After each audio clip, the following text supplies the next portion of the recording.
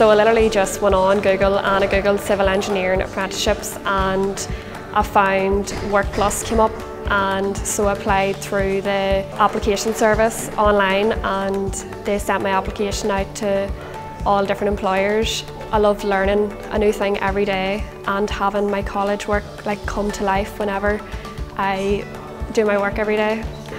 I hope as an apprentice, because I've got so much experience, I can go on to achieve my professional qualifications which will be recognised all over the world.